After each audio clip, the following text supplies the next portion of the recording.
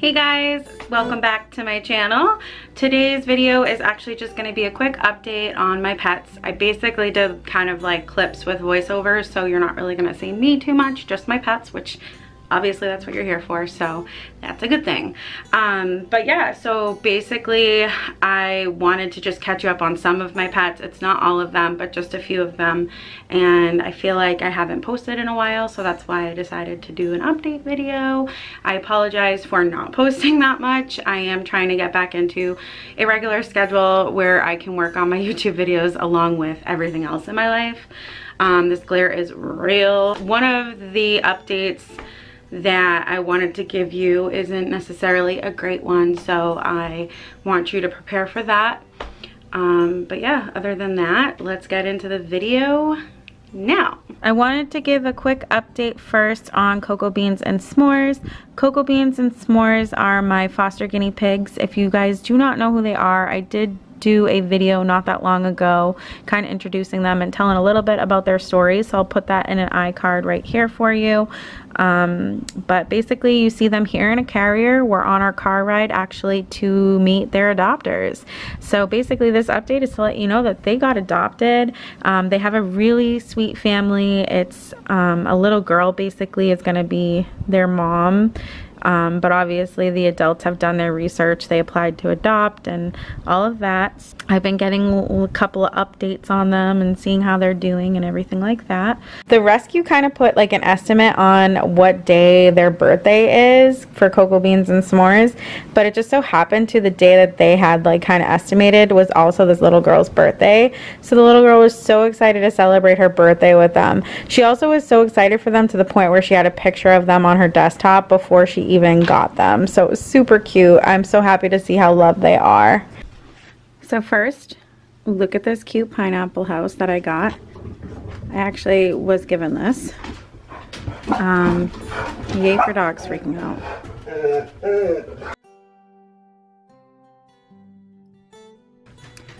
But quickly, just a little overview of the cage. I just cleaned my mice cage.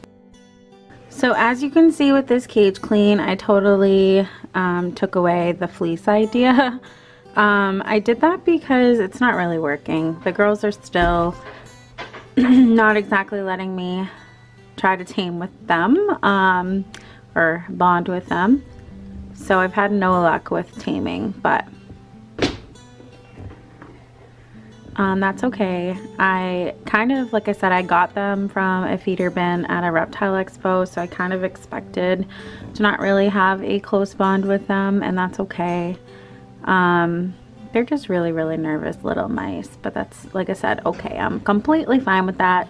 I really enjoy watching them and spoiling them with what I can.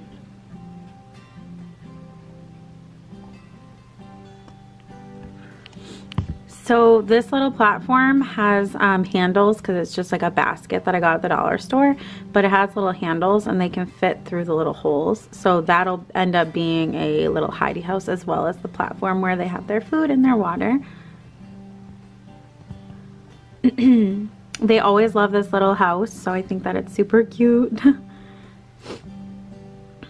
I try not to leave it in every single time so that way they don't get used to it and they enjoy it more. And then this is their platform that I've been using for them. I kind of haven't changed it because they've chewed it a little bit. So I'm just kind of letting them use it until I have to throw it away. Um, their other wheel, that's one of their favorites, is a rodent wheel and that's getting washed. So anyways, yep, this is Selma and Louise. This is their new setup. And like I said, I kind of gave up on the half fleece, half um, bedding idea um, that I had posted in their one of their last videos. Um, I will put an iCard up here for you guys if you want to check that video out. So as far as an update for Hazelnut, my hamster goes, back in February, the end of February, I actually rescued a, another bunny and he had come in a single Critter Nation cage.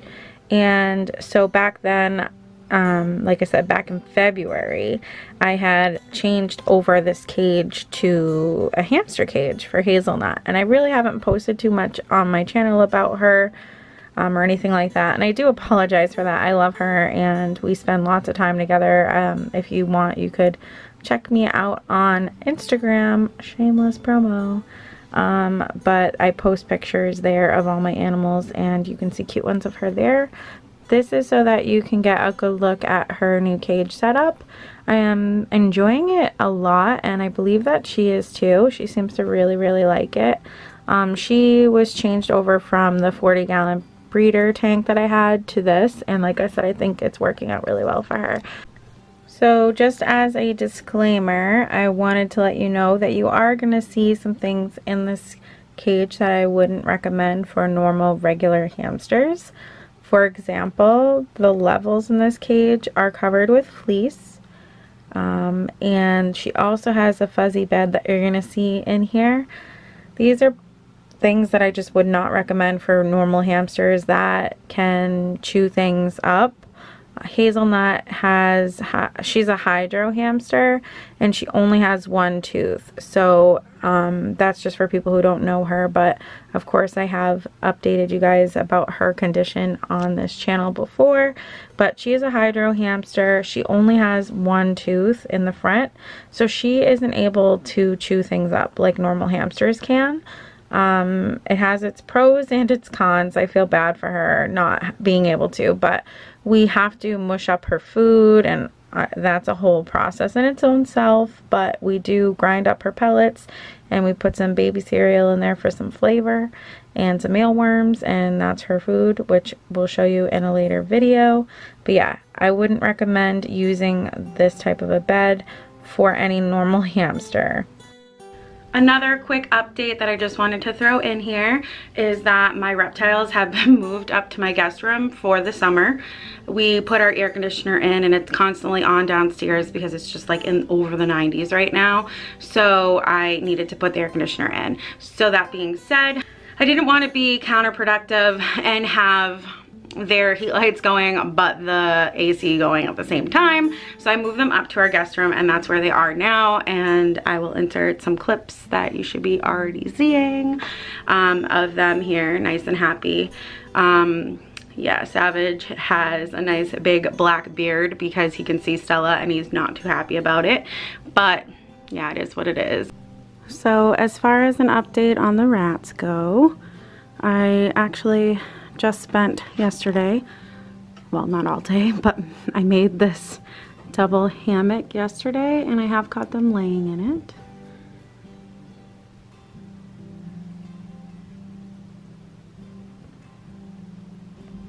And I actually just finished making this cube thing today. Um, I'm not really sure if they'll ever use it, but I have caught them laying on top of it.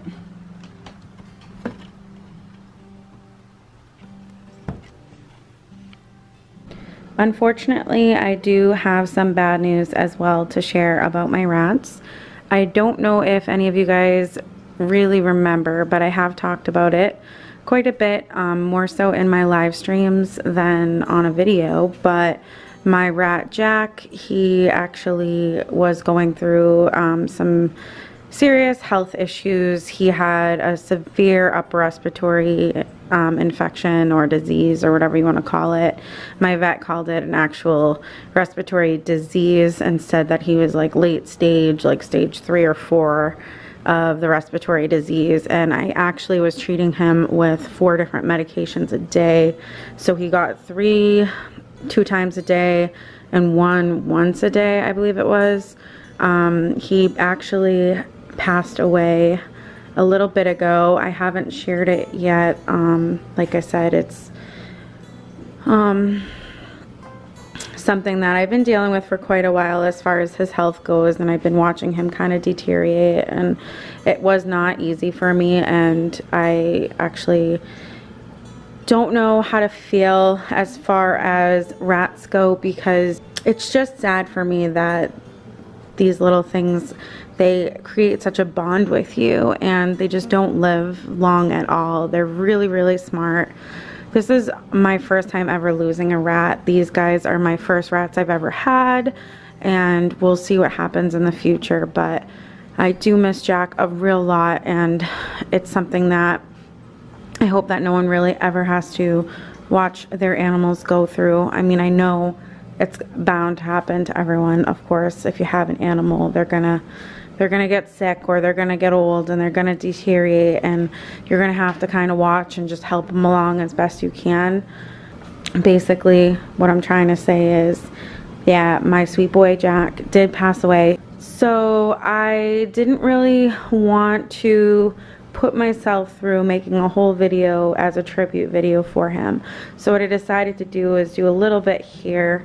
As you can see, um, putting some clips here of him just enjoying his daily life um, while he was still with me. And that's all I'm really going to share. If you guys have any questions, you definitely can feel free to ask them down below. I don't mind answering questions or just talking with you guys. I'm going to end the video here. I just wanted to say thank you guys so much for tuning in and watching the video. I do hope that you enjoyed catching up with me and some of my pets.